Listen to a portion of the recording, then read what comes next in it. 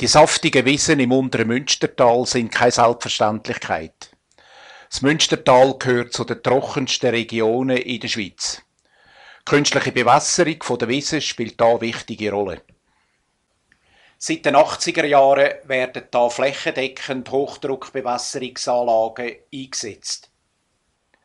Auch im Mittelalter hat man bewässern. Bewässerung ist mit einem ausgedehnten System von Gräben und Rundholzkennel sichergestellt worden. Das System ist länger als 40 Kilometer Heute sind die Einrichtungen zu einem grossen Teil verwachsen oder aufgeschüttet, weil man sie nicht mehr braucht. Überreste kann man vor allem im Waldgebiet finden. Häufig merken die Wanderer gar nicht, dass ihr Weg entlang einem ehemaligen Bewässerungssystem folgt. Oberhalb vom Müsteier ist 2003 ein kurzes Stück vom historischen Wassersystem rekonstruiert und für touristische Zwecke zugänglich gemacht worden. Die Wasserfassung erfolgt in einem Bach.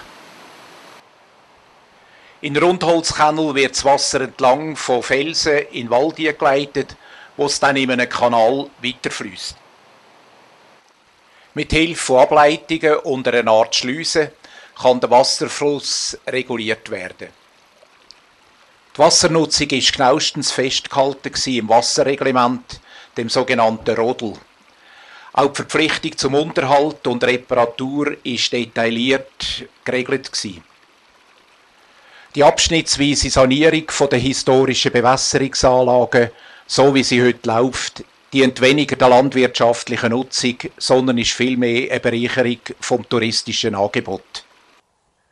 Am 1. Januar 2009 haben sich südlich vom Offenpass Gemeinden Tschierf, Fuldera, Lü, Valjava, Santa Maria und Müsteier zusammengeschlossen. Das historische Bewässerungssystem ist eines von 24 Teilprojekten, mit denen die Ortschaft das Projekt Biosphära Walmüsteier realisieren wollen.